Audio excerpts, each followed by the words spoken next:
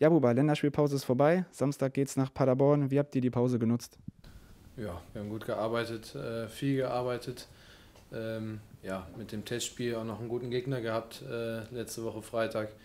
Ähm, ich glaube, wir konnten gut arbeiten, um uns äh, auf das nächste Spiel vorzubereiten. Du hast eine sehr, sehr gute Bilanz gegen Paderborn. Ich weiß nicht, ob du es weißt. Vier Siege, ein Unentschieden, eine Niederlage. Was müsst ihr tun, damit das so bleibt? Ja, müssen wir vieles richtig machen.